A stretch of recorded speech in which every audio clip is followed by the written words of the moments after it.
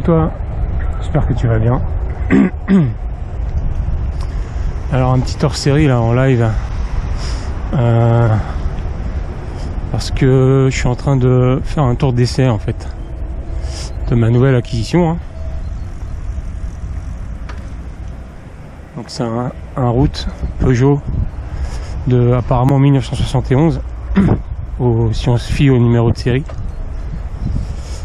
et que je viens de retaper en fait comme on m'a piqué mon VTT euh, il y a trois semaines à peu près et que j'ai plus de bike euh, d'appoint et ben je me suis pris ça. Ouais, je traversais donc euh, bike d'appoint maintenant. Donc j'ai dégoté ça sur le bon coin à 40 balles hein, avec les, les jantes et tout. Donc alors il avait il y avait plus de pneus plus de chambre à air. Euh, le dérailleur était mort. Donc du coup, euh, bah, bon, pour 40 euros, je l'ai récupéré quand même, ce qui est, ce qui est pas, très cher. Donc du coup, bah, j'ai un peu tout changé, quoi. Ouais, donc j'ai refait le dérailleur. hein. J'ai racheté un dérailleur 8 vitesses. Et je pense que c'était un 7 avant. Je pense pas que c'était un 8 à la base, mais comme il y avait une cassette de 8 dessus, et que apparemment bon bah le dérailleur il fonctionnait hein, j'arrivais à changer les vitesses à, vide. Et dès que je montais dessus bah ça claquait ça partait il partait dans l'autre sens en fait. Je pense qu'il était trop usé. Et donc euh, donc là j'ai racheté un dérailleur un 8 vitesses que j'ai dû un peu caler avec euh, avec une rondelle pour que ça puisse rentrer. Mais bon ça marche très bien là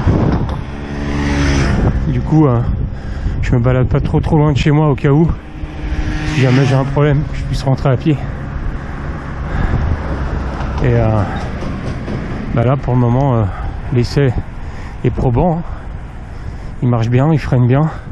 Alors j'avais acheté, j'ai changé les poignées, je te montrerai après. J'avais acheté les étriers et tout, mais en fait les étriers ils montent pas. L'axe de l'étrier est trop court. Je pense que c'est les nouveaux bails qu'ils ont. enfin, c'est plus comme avant. Avant, euh, les freins traversaient le cadre. Mais là, en fait, c'est sur une plaque, donc euh, c'est beaucoup plus fin. Du coup, du coup, ça va pas.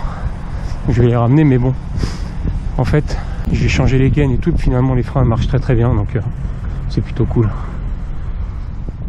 Mais, mais voilà, non, franchement, je suis assez content. Juste au départ, là, je sais pas pourquoi il la roue arrière s'est desserrée, elle était désaxée, elle a frotté contre le cadre.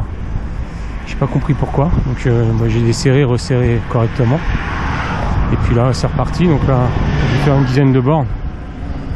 Euh, donc j'ai été un peu en côte et tout. Chercher les plateaux et tout pour voir si ça saute. Non, ça bouge pas. hein. En plus c'est marrant, il est, il est dynamique quand même. Il est assez léger, il fait que 12 kg le cadre. Et du coup, euh, du coup c'est, c'est assez rigide et, dynamique quand tu es dessus. Je pense que je pense que si tu te mets en mode euh, en mode cycliste sport et tout, il y a de quoi faire de bons délires avec quoi. J'ai la roue avant qui est un peu voilée, faudrait que je regarde ça. Bon, c'est léger, hein, c'est pas c'est pas l'enfer non plus. Mais euh, mais non, franchement, globalement, je suis plutôt content quoi. C'est c'est marrant de rouler un vélo euh, qui a 47 ans quoi, qui est plus vieux que soi. C'est marrant. Euh, et puis bon, pour l'instant, bah écoute, je viens de faire un peu plus de 10 bornes, ça marche plutôt bien, donc euh, je vais m'arrêter après quelque part euh, dans un coin tranquillou pour euh, te filmer ça un peu de plus près. Ouais, du coup, je repasse en mode studio parce que euh, tout à l'heure au parc, il y avait des travaux à côté en fait, quand je filmais, et je m'étais pas rendu compte, mais ça faisait un boucan assez euh, conséquent. Alors revenons un peu euh, au montage. Alors au départ, je m'étais complètement trompé. Erreur de débutant, j'avais monté des gaines de dérailleur comme gaines de, frein. Donc forcément, bah, vu que le, le câble est un peu plus épais, bah, tout de suite ça coulisse moins bien.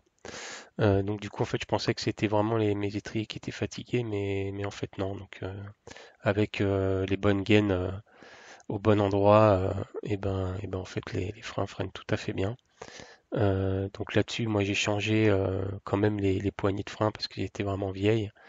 Et puis en plus, je voulais me, je voulais me faire plaisir et puis, et puis passer en fait les, passages de câble propres sous la guidoline. Et du coup avec les, les, poignées de frein modernes en fait tu as le la gaine qui ressort bien par derrière tu vois et tu peux tu peux tu peux passer en fait la guidoline par dessus le câble de frein et, la, et sa gaine en fait sans sans, sans, sans, qu'elle soit apparente quoi. Donc c'est ça fait tout de suite plus propre. Donc en gros, euh, voilà, donc j'ai changé les poignées de frein, la guidoline, les pneus, chambre à air. Euh, j'ai refait également euh, bah, toutes les gaines et tous les tous les câbles, hein, dérailleurs compris. j'ai changé la chaîne, j'ai refait la transmission, j'ai changé aussi la, cassette, hein. j'ai remis une 8, vitesses. Tout en pensant que qu'en fait la cassette c'est pas, enfin à la base c'est pas une 8 vitesses. Je pense que sur ce modèle-là c'était plutôt une 5. En tout cas, euh, je suis tombé sur des docs euh, Peugeot en fait euh, sur internet ou des sites en fait où ils répertorient les modèles et les documentations de l'époque et j'ai pas trouvé l'équivalent en, 8 vitesses de ce modèle. voilà, pour en revenir encore aux dérailleurs, j'ai eu, j'ai eu quand même pas mal de chance parce que j'ai trouvé la patte de dérailleur absolument identique chez Decathlon. bah du coup, j'ai, c'est là-bas que j'ai racheté le dérailleur également. Euh, et, l'avantage de, monter en fait un dérailleur indexé euh, sur un système euh, à manivelle comme ça, c'est que bah, c'est que ça passe crème quoi. J'ai les vitesses là, elles passent vraiment nickel. Ça saute pas, c'est vraiment super. Du coup, je pense que l'étalement des, vitesses fait que, que ça donne un peu plus de dynamisme encore au, vélo quand je le compare en fait à mon alu euh, et ben, je, suis agréablement surpris en fait par le, répondant en fait, le, dynamisme comme, comme je disais tout à l'heure. C'est assez surprenant pour un vélo qui a, qui a, qui a, qui a cet âge-là quoi. Alors au niveau du coût, on est à peu près à 200 euros, hein, le bilan de l'opération avec les pièces et, euh, et bon la main d'œuvre, bah, c'est moi qui c'est moi qui ai tout changé donc euh, forcément ça me coûte rien. Donc on est sur l'ordre de prix euh, d'une entrée de gamme chez Decathlon, sachant que là euh, tu rides quand même un vélo euh, qui a 47 ans et, et puis un côté un côté attachement comme ça qui est qui est, qui est marrant quoi. Voilà. Bon bah écoute, il me reste plus qu'à te souhaiter une bonne journée, une bonne soirée. Et puis bah n'hésite pas à me poser tes questions si tu en as en commentaire de cette vidéo.